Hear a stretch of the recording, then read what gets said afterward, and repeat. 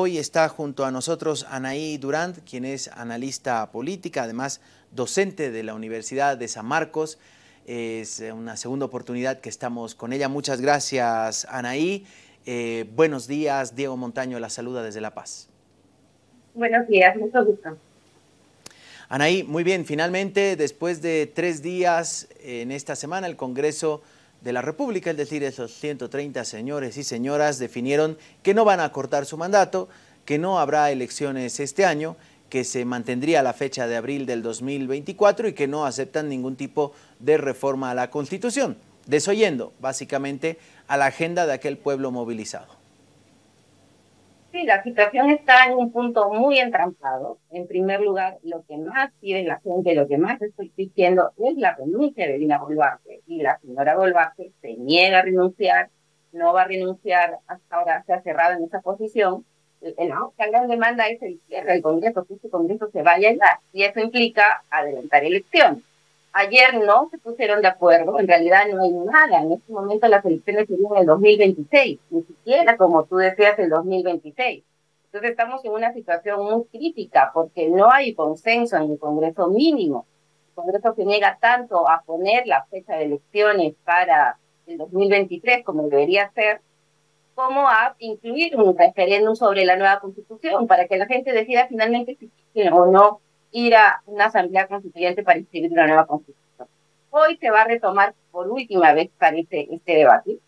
Tienen, se ha presentado un dictamen en minoría que plantea esa posibilidad de que las elecciones sean en octubre del 2023.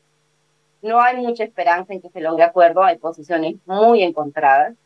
Y yo creo que esto va a terminar generando más indignación, más movilización y es una irresponsabilidad enorme del Congreso de la República que en medio de esta situación tan álgida eh, no pueda lograr un consenso mínimo sobre una fecha. O sea, eh, están casi centaveando los meses, nos quedamos hasta eh, septiembre, a octubre, a diciembre, a abril, y es una burla al pueblo peruano que se ha movilizado, que han sido asesinados en las protestas. Es una situación muy complicada.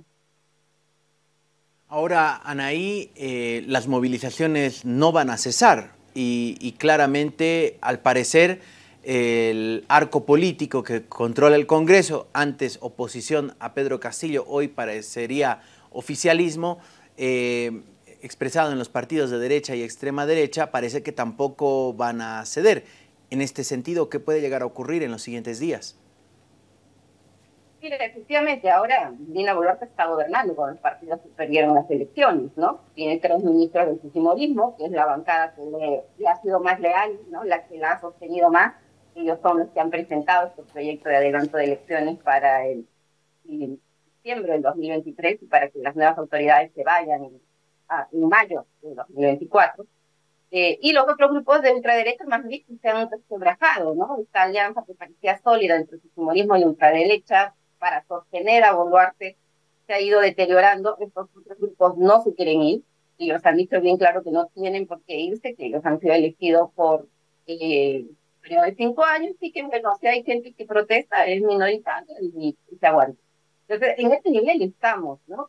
Claro, y en el caso de las bancadas de izquierda, progresistas, también se está, eh, no se puede, o no, no, no podían ayer aprobar ese proyecto presentado con el ¿no? o sea, alargando el mandato de Boluarte hasta eh, abril, casi 15 meses más. Este país no va a soportar 15 meses de, gobierno de Dina Boluarte, es insostenible. La, el acuerdo previo era que se vayan en octubre.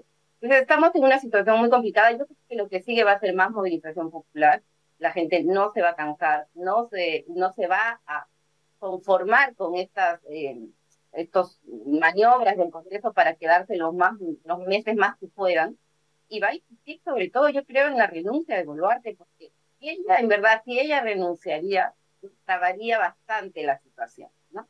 Lo que dice la Constitución es que si la presidenta renuncia al no haber un vicepresidente, asume la mesa directiva del Congreso con el encargo único de convocar elecciones generales en un plazo máximo de cinco meses. Entonces, eso nos estaría facilitando la situación y estaríamos eh, ya no en manos de un Congreso irresponsable y, que solo piensa en sus intereses corporativos, sino en otra situación política. Y además creo que calmaría bastante a la población porque ya esta censura de Dina Boluarte no solo personifica la traición, sino personifica el asesinato, el desprecio por la vida de la gente que ha, ha perdido, ha fallecido, ha sido asesinado en las protestas durante sus menos de dos meses de gobierno. Entonces, creo que lo que sigue, básicamente para mí, es si hoy día el Congreso no logra un resultado medianamente decente, eh, creo que va a seguir más movilización popular. Ahora, eh, Anaí, si renunciase Dina Boluarte en esta semana, hablaríamos de elecciones de acá cinco meses. Estaríamos hablando de principios de julio. Sea julio, sea octubre, diciembre del 23 o abril del 24, estaríamos ante un inminente escenario de elecciones. Pero la pregunta es, bajo las mismas reglas, ¿qué garantía se tiene que se vayan a profundizar ciertos cambios, eh, que es lo que pide también el pueblo hoy movilizado? Efectivamente, también hay esta sensación de no, no sirve de nada la elección. Incluso la gente en la calle no pedí, no pide adelanto de elecciones. O sea, no es, esa nunca fue la principal bandera porque se sabe que este sistema ya está viciado, que con los mismos partidos y las mismas reglas de juego, la historia se puede volver a repetir. Por eso también que la demanda de una nueva constitución donde se escriban nuevas reglas de juego ha ido ganando terreno, ¿no? Y ahora eh, ya no es solo la población movilizada, el surandino, los sectores más excluidos o politizados los que piden una nueva constitución. Encuestas de think de derecha, como los peruanos o Ipsos, vieron el domingo que un 70% de la población peruana está de acuerdo con cambiar la constitución, con ir a una nueva constitución vía una asamblea constituyente, que como tú bien dices, vamos a repetir la historia. Desde el 2016, cuando el fujimorismo perdió las elecciones y logró una hipermayoría en el Congreso, no ha parado la inestabilidad porque hemos ido girando un régimen parlamentarista. Entonces no tenemos un, un ejecutivo no tiene eh, capacidad de, llevar adelante sus planes de gobierno porque está en manos del legislativo, no hay equilibrio de poder. Y además hay un sistema político que tiende a cerrarse. Es muy difícil entrar en nuevos partidos. Tenemos los mismos 12 partidos hace casi 20 años. Entonces no, no hay un sistema que esté también eh, oxigenándose, ¿no? Y como digo, ante esta dimensión de los fracaso del sistema político, lo que sigue es una reforma mucho más integral, porque en el Congreso quieren hacer reformas, ¿no? Dicen, vamos a nuevas elecciones con reformas como la bicameralidad o la reelección, porque no hay reelección de congresistas, y esas reformas no le importan a la gente. O sea, ellos, la, población no cree que esas reformas van a mejorar en algo ni el sistema político ni sus condiciones de vida, ¿no? porque también es una demanda por mejores condiciones de vida. Entonces, lo que sigue es, creo, también atender ese reclamo de la población, que yo creo que tarde o temprano se va a tener que escuchar, que es el de una nueva constitución, ¿no? Donde se pueda dar una, un nuevo pacto social, un nuevo consenso, porque ahorita es imposible encontrar consenso desde los poderes constituidos. Anaí, eh, ante ese inminente escenario que son las elecciones, ya empiezan a sonar algunos nombres de posibles candidatos. Por ejemplo, eh, Johnny Lescano, César Acuña, la misma Keiko Fujimori, Hernando de Soto, eh, desde la izquierda Verónica Mendoza, eh, Daniel Salaberry, Rafael López Aliaga, Julio Guzmán, el mismo expresidente vacado también, Martín Vizcarra. Es decir, ¿ante qué escenario y quiénes son estos personajes? Así en un repaso rápido. Yo creo que todavía pronto para, para ver estos personajes políticos, ¿no? Mm, ni siquiera algunos tienen partido. Verónica Mendoza nunca pudo inscribir su partido, entonces, ¿con qué partido participaría? Eso es parte también de la discusión, ¿no? Eh, o, por ejemplo, Johnny Lescano. Johnny Lescano prácticamente fue expulsado de Acción Popular. Entonces, ahí también va, a tener una interna muy fuerte que enfrentar. Yo creo que los candidatos más fijos ahorita son de la derecha, los que ya se han anunciado, que Fujimori, pues que ya va a candidatear el resto de su vida más por librarse de sus juicios, creo que porque realmente cree que va a ganar, y ya tiene un partido, una bancada, de hecho su bancada es la que está más avanzando con el adelanto de elecciones, a diferencia de otros, ¿no? Eh, su bancada sí está favorable de esa opción. Entonces creo que ella es una candidata muy probable. Eh, luego, eh, Hernando de Soto también se anunció como candidato. El problema es que Hernando de Soto tiene una bancada de 10 parlamentarios que están bloqueando con todo el adelanto de elecciones, entonces ahí también la, la crisis de la política en el Perú, ¿no? Esta disociación entre liderazgos políticos y sus los partidos que deberían conducir, ¿no? Y la ciudadanía, que en verdad, como te digo, en este momento no está en clave electoral, está en clave destituyente, que se vaya Dina, que se vaya la Constitución del 93 y vamos a un nuevo debate sobre lo que queremos. No, no, no está pensando en quién va a ser mi candidato. Eso está en la camisada, está anunciada una gran marcha nacional, nuevamente una jornada de lucha nacional esperemos eh, pueda hacer reflexionar a la, a, la clase política. ¿no? Están jugando muy, muy irresponsablemente con las demandas de la ciudadanía. Y ante este escenario, eh, ¿qué dicen los grandes medios de comunicación, televisivos, los medios de comunicación impresos los podemos ir revisando, pero ¿qué dicen, por ejemplo, desde los programas de debate y de análisis político? No, yo la verdad creo que mucha gente ha optado por ya ni mirar los grandes medios de comunicación, ¿no? Aquí hay un contubernio para legitimar la protesta.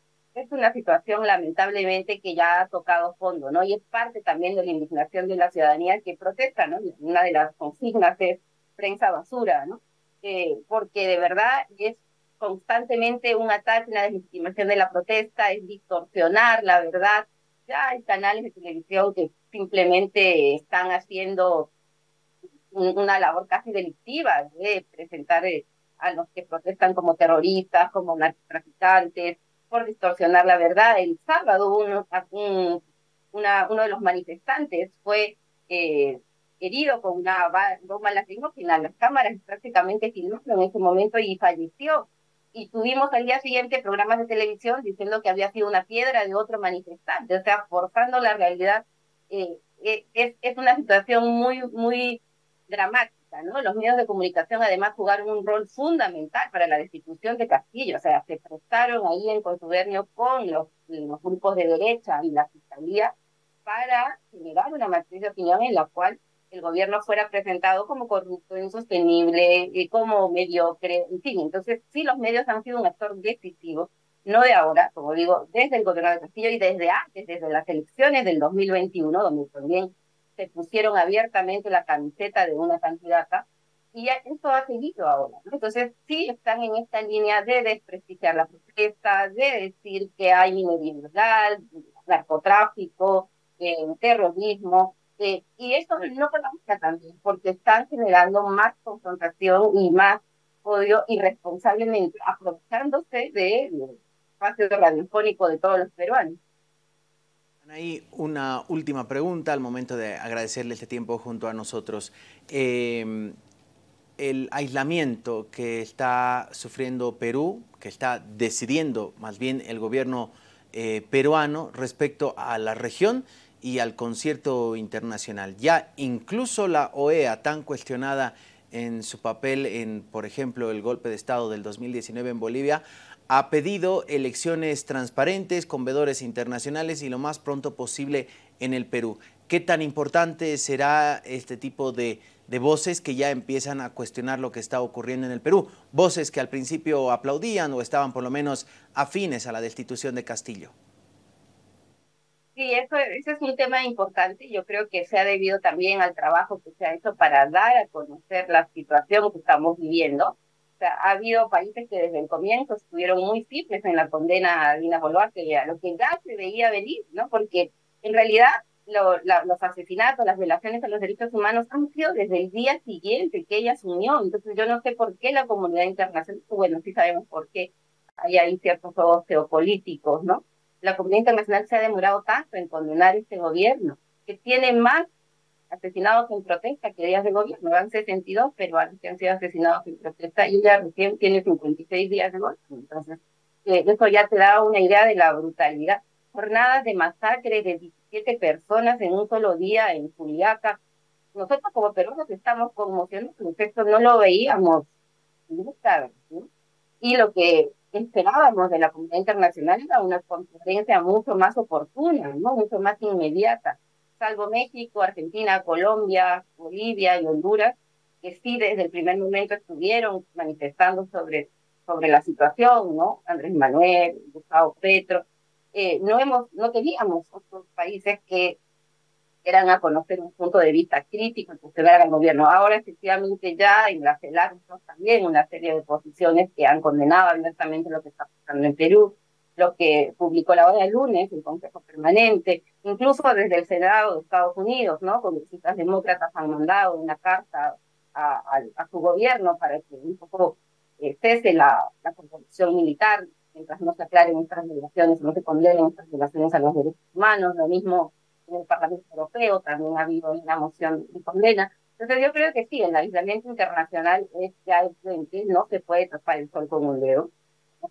ha movido embajadores, ha expulsado al embajador de México en Lima, ha expulsado al embajador de Honduras. Eh, está en una situación muy defensiva y creo que eh, eso refleja finalmente la debilidad y el aislamiento de este gobierno. Dina Boluarte además no está aislada solo internacionalmente, está aislada aquí en Lima, ella no sale de Palacio en dos meses de gobierno, salió una vez, fue a Cusco y no pudo casi ni aterrizar. La población eh, salió a decirle finalmente lo que es, manifestar su descontento. Entonces sí es una situación muy crítica y creo que eh, lo que pueda seguir bueno, la comunidad internacional, eh, los países hermanos, va a ser fundamental también para que pueda abrirse un escenario democrático Anaí Durant, muchas gracias por haber estado junto a nosotros esta mañana. Un placer actualizando, por supuesto, y haciendo un análisis de lo que ocurre en la hermana República del Perú. Seguro la vamos a estar convocando más adelante. Eh, un fuerte abrazo. Gracias, señora. Estuvo Anaí Durant junto a nosotros en esta primera edición haciendo un repaso de lo que pasa en el.